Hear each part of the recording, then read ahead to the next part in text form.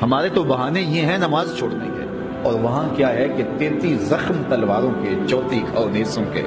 अल्लाह अकबर। और एक सौ बाई तीर जिसम के अंदर पेवस्त हैं, लेकिन पेशानी सजदे में रखते हैं तो सुबह रबी आला होकर अगर जवानान जन्नत का सरदार कहा गया तो ऐसे तो नहीं कह दिया गया। उन्होंने अपने आप को उसका अहल साबित किया है कि मेरे लिए जो लफ्ज जुबानी नबूवत से निकले हैं, लोगों देखो, बरसते तीरों में भी मेरी नमाज़ कजा नहीं होती।